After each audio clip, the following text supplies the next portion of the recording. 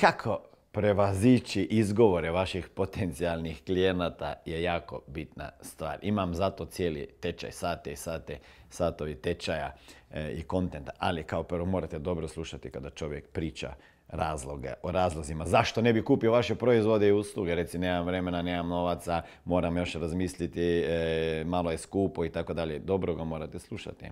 Onda kada mislite, otvorite usta, onda samo otvorite i šutite još jer može još nešto da kaže. Morate pustiti ga do kraja. Najteže je tu kod rješavanja izgovora šutiti i onda jednostavno ponovite šta je rekao. Ako sam te dobro razumio, ti si rekao da nemaš novaca. Mhm.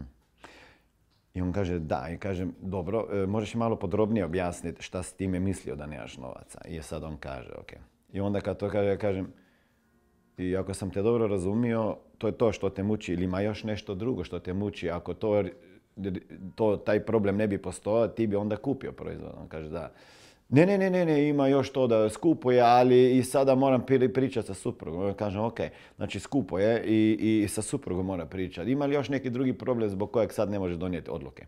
I onda kaže, on ne, kaže, ok, ako riješimo ta dva, e, e, ta dva e, problema, da li, da li onda možemo razgovarati danas konkretno sada tu o tome da, da, da se konkretno kupi taj proizvod? I on kaže, ne, pa šta ne? Pa on kaže, pa neki novi izgovor. Pa onda kaže, ima još nešto što te muči i tako dalje, tako dalje. Ima cijeli postupak, e, možda mi napišete tamo e, rješavanje izgovora pa ćemo vama slati taj e, PDF kako se e, prodaje usluge klijentima, pogotovo ako ste u coachingu i kako se rješava izgovor. Imam zato cijeli tečaj. Ćao.